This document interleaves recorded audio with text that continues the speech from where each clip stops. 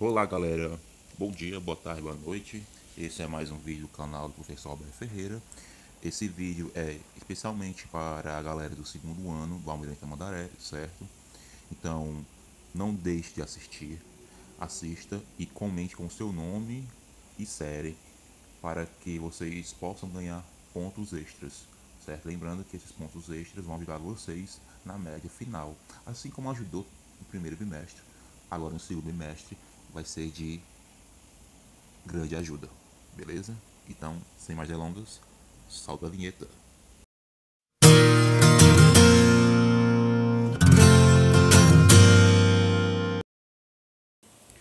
Bem pessoal, a aula hoje, Geografia, é, nós estamos tratando sobre o tema urbanização e dentro do tema urbanização na geografia urbana nós temos diversos conceitos.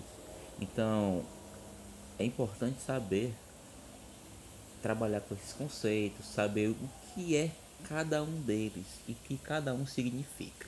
Então nessa aula vamos trabalhar com conceitos como conceito de conurbação, metrópoles, megalópolis e megacidades.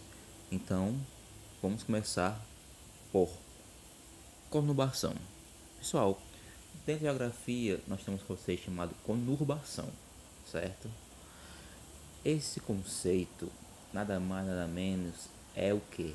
Quando duas cidades, vamos supor cidade A e a cidade B, elas crescem tanto de tal forma que elas vão de certa forma se fundir e aí vai ficar muito difícil saber onde fica o limite da cidade A e onde fica o limite da cidade B.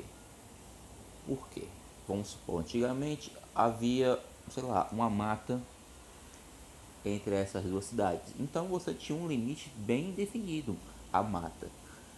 Até a mata é a cidade A e até a mata é a cidade B. Só que com o tempo a cidade vai crescendo e essa mata ela vai sendo devastada e dando lugar a ruas, a indústrias. E essa mata vai desaparecendo de tal forma que a cidade A e a cidade B se fundem.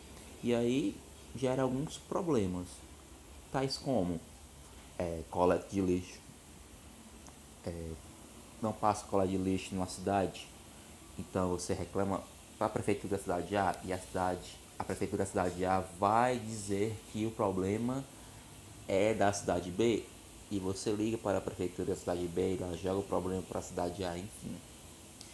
Além disso, nós temos algum problema como também a energia, a água. Então, gera algumas confusões que mora principalmente no limite entre essas duas cidades. Então, recapitulando, conurbação é quando duas cidades crescem a tal ponto de que fique difícil distinguir o limite delas.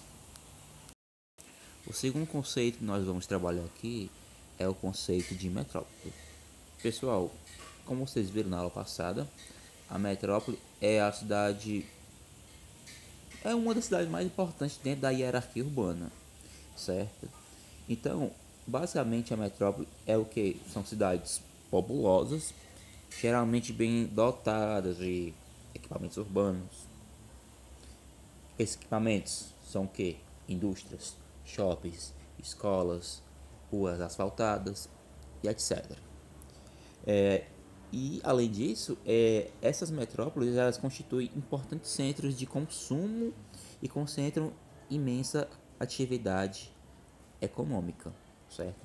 Fortaleza, por exemplo, é uma metrópole porque além de ter um grande comércio, além disso tem atividade turística que gera milhões e milhões de reais, certo? Além disso, Além de abrigar a sede das principais empresas, essa cidade também oferece os mais diversos serviços como bancos, corretoras, bolsas de valores, clínicas, laboratórios, hospitais, dentre outros que eu já tratei aqui para vocês, certo?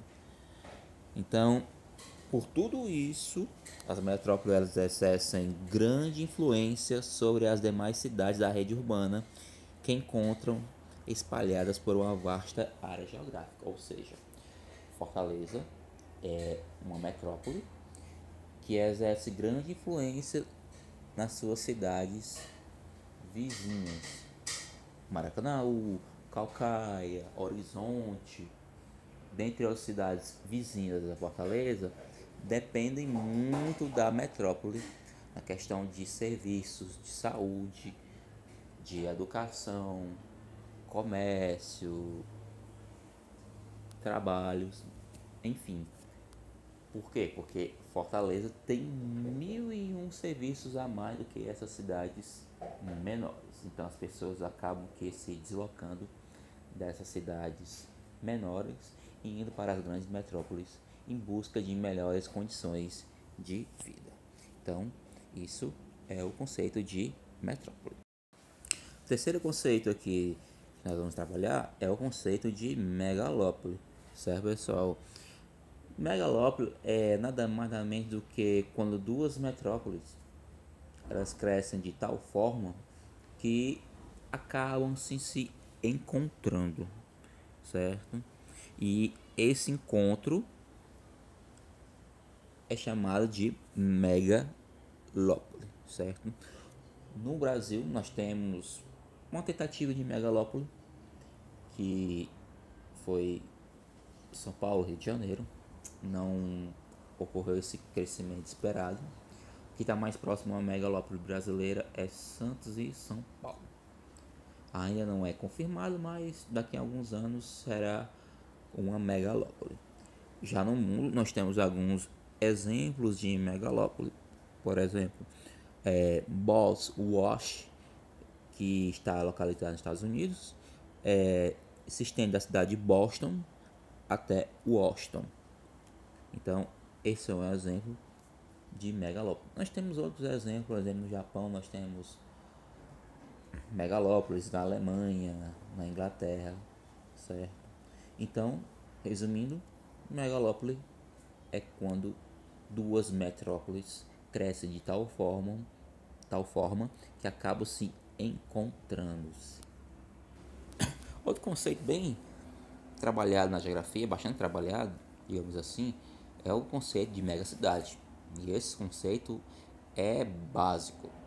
Megacidade é qualquer uma cidade com mais de 10 milhões de habitantes.